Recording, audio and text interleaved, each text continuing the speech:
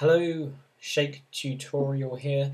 Um, recently bought the uh, Apple Training Series book. Um, been reading through that, getting quite far through that, and basically I wanted to share some of the stuff I'm learning with you, um, but not the advanced stuff just yet. I'm actually just going to go over the basics for now, um, and we're going to start off talking about the user interface and then about basic compositing.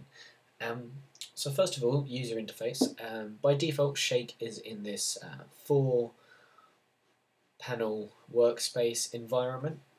You got your tools panel, your parameters, your node workspace, and your viewer. So, in the node view, well, first of all, what are nodes? Well, basically, everything you do in Shake is a node. Um, so your footage is a node.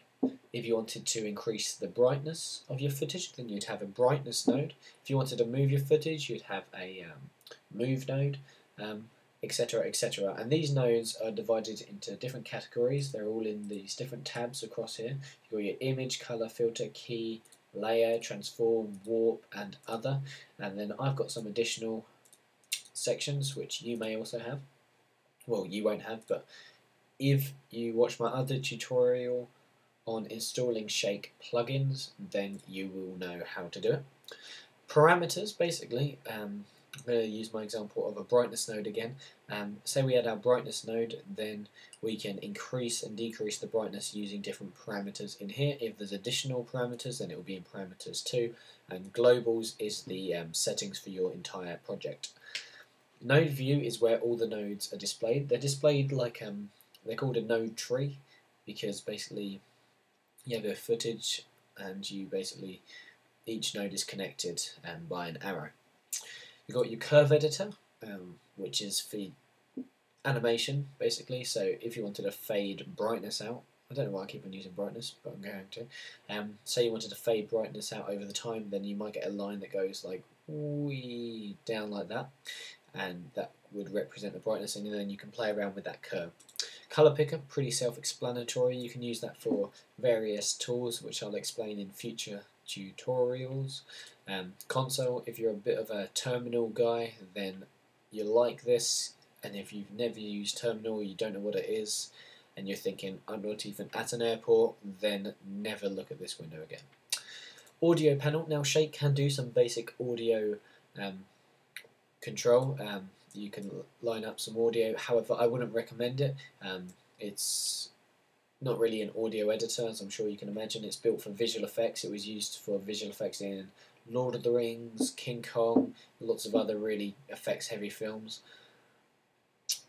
However, say you're creating a gun flare, uh, then you might want to throw in a gun sound just to give you something to work by and your pixel analyzer which will also go over because I can't show you here because we don't have any footage. Um, now these buttons will go over in time. Um, first of all I just wanted to tell you about actually getting footage into your project. So you what you want to do, there's two ways to do it. I prefer my way of doing it um, just because I like to stick to my old ways. However, how you do it, um, just only using Shake and not exiting the program is you go over to the Image tab in your Tools panel and you select a File In node. Now, if you don't know what each node is, um, then there's a little Help section here. Even even the Help section tells you what the Help section does, and this is the info line. It gives you a short help message on what you're currently pointing at. So if we hover over the file in node, you can see it now says create node file in, and that's what we want to do. We want to create a file in node. Choose that, and it will now, you know, say where do you want to go, and navigate to your footage. I've got an image sequence. Um, now it's automatically chosen the entire image sequence. Like there's actually 65 pictures, um, but it's it shows it as a sequence, which is what we want. Press OK, or next if you want to load in multiple file ins. Press OK, and as you can see, we've now got a node, which is an image, and in our viewer, we can now see it. Now, if you want to scrub through it, then as you can see down here, we've got a timeline, and we can just scrub through like that. But it only lasts 65 frames, and our whole, whole project lasts 100. Um, if you want to change the maximum amount of frames, that's what this um, number is here for. Just select that and change that to 65, press enter, and now it's only 65 frames long. Now, my way of getting footage in, so I'm just going to select this node and hit delete. My way of getting footage in is I like to use Finder and I like to I just like to browse through Finder because I quite like it. And we can select all frames. And it'll do the same thing as we did. Um, click on the left hand side of the footage and it loads into the viewer. If you click on the right hand side of the footage it loads up its parameters. Just a cool bit of information. In the parameters of a file in node, it will tell you uh, where it comes from and stuff like that. It tells you its last frame as well. Um, you can hit the spacebar on any workspace panel. For instance, if I hit the spacebar over the viewer, then it makes it full screen. If I hit it over the uh, tools panel, it makes it go full screen and obviously it's the same with the others and it's very handy for the node view because sometimes you can get some really big node trees um, if you want to move around in the panel you middle oh, I don't know what's going on here. I have a rough idea. Um, but that's not good. Um, middle click and then you can drag around. Um, I would love to show you what I mean, but unfortunately my I, I know what's happened to my mouse and I'll sort that out for next tutorial. So now we've got a file in node and let's say that all we wanted to do to it was let's let's let's be kind to our brightness node that we keep on mentioning.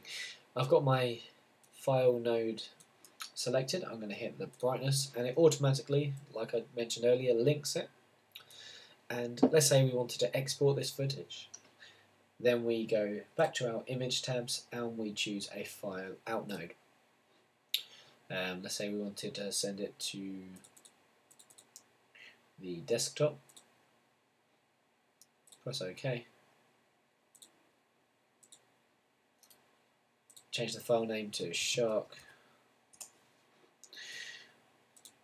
Um, right hand side of the brightness node and then we can, like I said, change the brightness like that. And then what we can do is that say we wanted to preview it before we export it, we go render, render flipbook, press render, then it will quite quickly create a nice looking flipbook.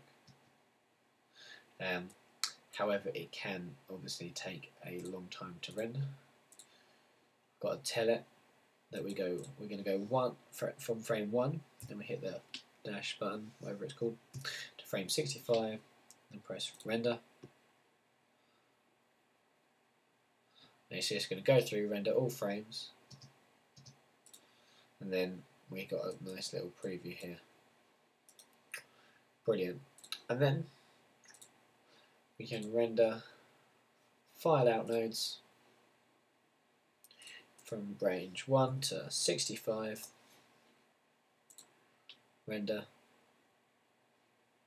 it's going to give us a nice preview and then if we go to my desktop you can now see that we've got a file out node what you want to make sure you do is that go into the parameters of your file out node and make sure you'll change it to an appropriate file type I want to change it to a QuickTime.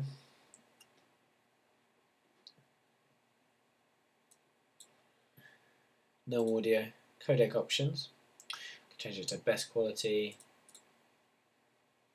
H.264. Okay. And then when we render, file out,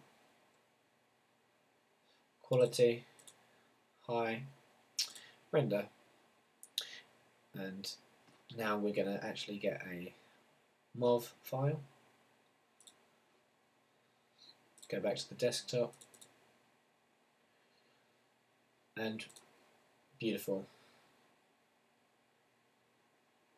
So that's some basics on how Shake works. Um, next lesson we're going to actually take a look at some basic compositing. We're also going to take a look at some of these buttons and try and understand how Shake works. But this is just a brief introduction that I hope you like. So thank you for watching, rate, comment, subscribe, see you soon and check out the rest of this playlist.